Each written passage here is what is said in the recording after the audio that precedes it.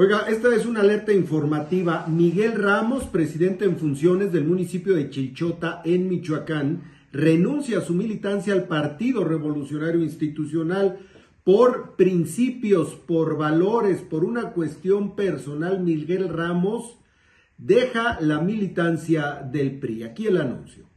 Que el día de hoy, viernes 27 de septiembre, renuncio de manera formal a mi militancia con el Partido Revolucionario Institucional.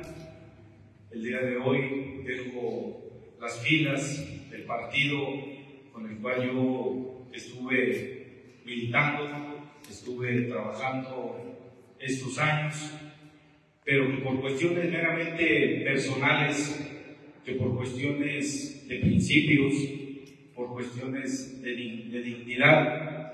El día de hoy me deslindo de todo el trabajo político del Partido Revolucionario Institucional